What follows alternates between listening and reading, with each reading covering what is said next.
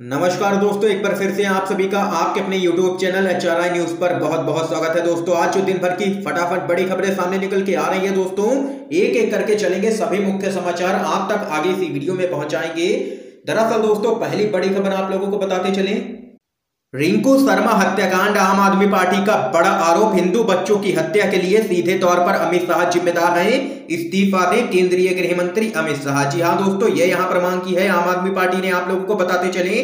दिल्ली के मंगोलपुरी में रिंकू शर्मा नाम के शख्स की हत्या के बाद राजनीतिक बयानबाजी लगातार जारी है।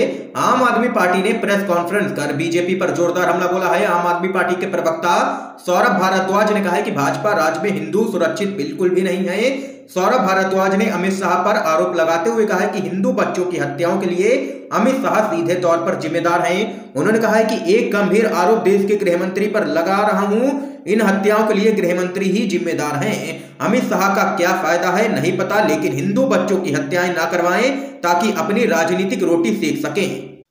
उन्होंने कहा है कि ये घटिया कल्चर भाजपा की देन है कि जात बतानी पड़ती है गृह मंत्री को इस्तीफा देना चाहिए। गृह मंत्री के इस्तीफे की मांग करते हुए सौरभ भारद्वाज ने कहा है कि ये बेहद शर्म की बात है कि दिल्ली जैसे पढ़े लिखे इलाके का जनप्रतिनिधि होने के बावजूद हिंदू, मुस्लिम, सिख, ब्राह्मण जैसी बातें करनी पड़ रही हैं। ये घटिया कल्चर भाजपा की देन है, जहाँ लोगों की धर्म और जाति बतानी पड़ती है। केंद्रीय गृह मंत्री की पूरी ज़िम्मेदारी मानते हुए इस्तीफा दे देना चाहिए। इस मामले में दोषियों को सख्त सजा देने की मांग भी यहाँ पर आम आदमी पार्टी ने की है और अमित शाह का इस्तीफा मांगा है इस पूरे मामले में। तो वहीं इस बीच अगली बड़ी खबर की तरफ़ चलते हैं दोस्तों। राहुल गांधी को डूम्स डे मैन कहना पड़ा है। महँगा वित्त मंत्री को दिया गया है। विशेषाधिकार, हनन का नोटिस आप लोगों को बताते चले।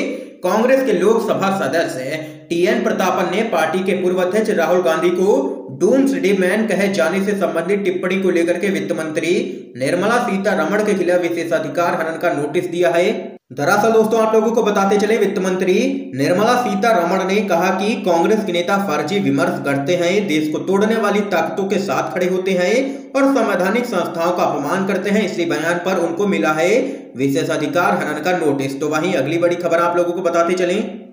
सुप्रीम कोर्ट ने कहा, प्रदर्शन करने का अधिकार कहीं भी और कभी भी नहीं हो सकता है। क्या कुछ है? पूरा मामला बताते चले दोस्तों। उच्चतम न्यायालय ने कहा है कि प्रदर्शन करने का अधिकार कहीं भी और कभी भी नहीं हो सकता है। और इसने पिछले वर्ष पारित अपने आदेश की समीक्षा की मांग वाली याचिका खारिज कर दी है। पिछले वर्ष फैसले में उच्चतम न्यायालय ने कहा था कि शाहीन बाग में संशोधित नागरिकता कानून यानी कि सीएए के खिलाफ प्रदर्शनों के दौरान सार्वजनिक रास्ते पर कब्जा जमाना स्वीकार्य नहीं है।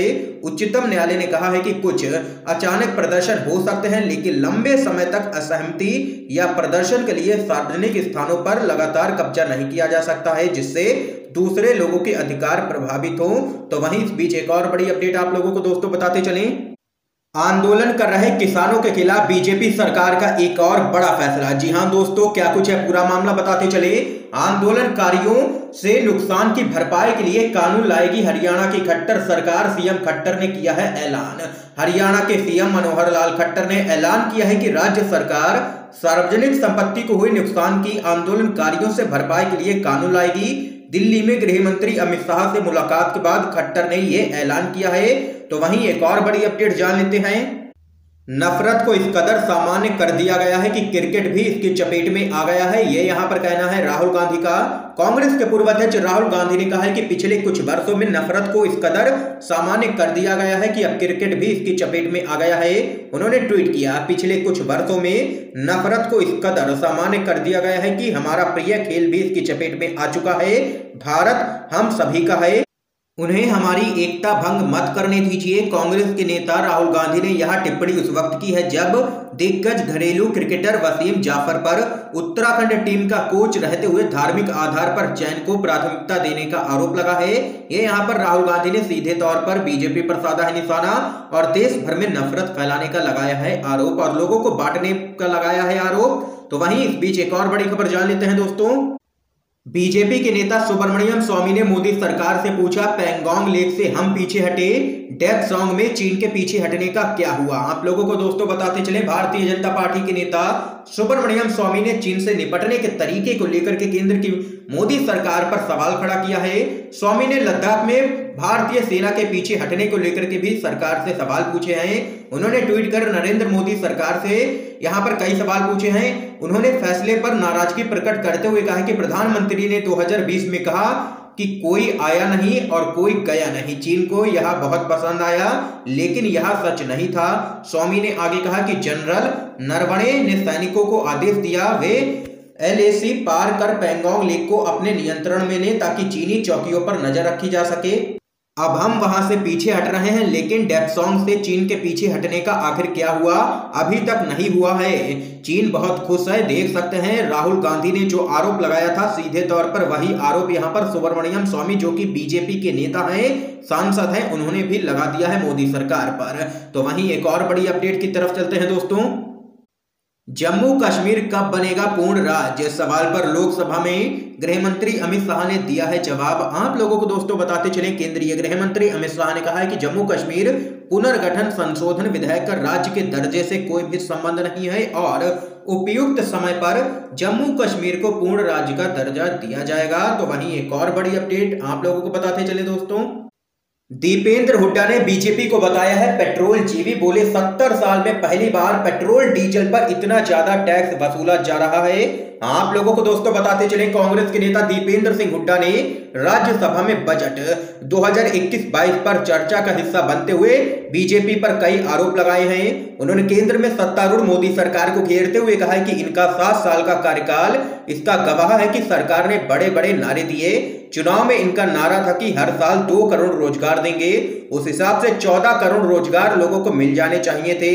लेकिन इसके विपरीत मोदी सरकार के कार्यकाल में सत्तर साल के अब तक के रिकॉर्ड में बेरोजगारी के आंकड़े चौंकाने वाले हैं। इस सरकार के कार्यकाल में सिर्फ़ बेरोजगारी ने ही रिकॉर्ड नहीं तोड़ा है। सत्तर साल में सबसे ज़्यादा डीजल और पेट्रोल ही महँगा हुआ है तो वह भी इसी सरकार में हुआ है। सत्तर साल में डीजल और पेट्रोल पर सबसे ज़्यादा टैक्स की इसी सरकार ने वसूला है। सत्तर साल में पहली बार मोदी सरकार के कार्यकाल में डॉलर के मुकाबले रुपया इतने नीचे गिरा है। सत्तर साल के रिकॉर्ड में एनपीए के ज़रिए बैंकों का कर्जा सबसे ज़्यादा डूबा है। इन सत्तर सालों में सबसे ज़्यादा गरीब और अमीर में अंतर बढ़ा है। वह भी इसी सरकार के कार्यकाल में हुआ है। एक फ़ीसदी सबसे अमीर व्यक्तियों के पास तिहत्तर प्रतिशत संपत्ति केवल कोरोना काल में हुई है। ग्यारह जो सबसे अमीर हिंदुस्तानी है, उनकी संपत्ति में तेरह लाख करोड़ का इजाफा हुआ है। इस दौरान उन्होंने देश में चल रहे किसान आंदोलन का भी मुद्दा उठाया है। कांग्रेस के नेता ने तीनों ही कानूनों को देश के पूंजीपतियों के फ़ायदा पहुँचाने वाला बताया है। देख सकते हैं जोरदार तरीके से कांग्रेस पार्टी के सांसद दीपेंद्र हुड्डा ने घेरा है राज्यसभा में बीजेपी सरकार को और कहा है कि सत्तर सालों में जो नहीं हुआ, मोदी सरकार ने सात साल में ही करके दिखाया है, लेकिन गलत दिशा में। तो वहीं दोस्तों एक और बड़ी अपडेट आप लोगों को बताते चले।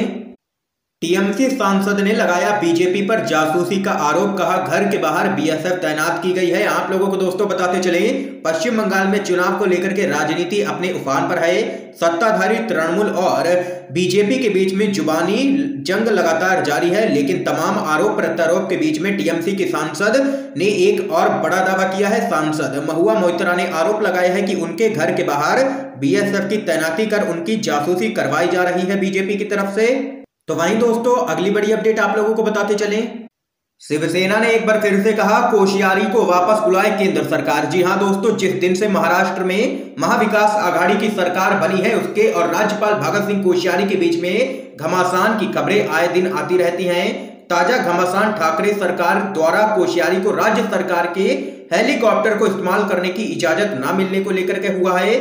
दरअसल, आप लोगों को बताते चले, ठाकरे सरकार का कहना है कि निजी यात्रा के लिए हम उनको सरकारी हवाई जहाज़ क्यों मुहैया कराएँ? इसी को लेकर के यहाँ पर राजभवन और ठाकरे सरकार के बीच में तलवारें खिंच गई हैं। महाराष्ट्र बीजेपी कोशियारी के साथ खड़ी है। और तो वहीं आप लोगों को बताते चले, शिवसेना ने कहा है कि राज्य सरकार ने इस मामले में नियमों का ही पालन किया है। तो वहीं दोस्तों शिवसेना ने अपने मुखपत्र सामना में लिखे ताज़ा संपादकीय में इसको लेकर के कोशियारी पर जोरदार हमला बोला है। शिवसेना ने कहा है कि कोशियारी अपने पूरे राजनीतिक जीवन में कभी इतनी चर्चा में नहीं आए, लेकिन महाराष्ट्र का राज्यपाल बनने के बाद से ही वह चर्चा अथवा विवाद में बने रहे हैं।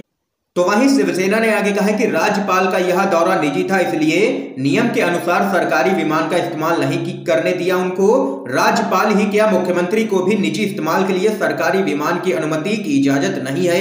यह यहाँ पर जोरदार तरीके से हमला बोला है शिवसेना ने और केंद्र सरकार से कहा है कि कोचियारी को वापस बुलाएँ दोस्तों, आज की तमाम बेहद बड़ी खबरें सामने निकल के आई हैं, जो हमने आप लोगों तक पहुंचाई हैं एचआरआई न्यूज़ के माध्यम से।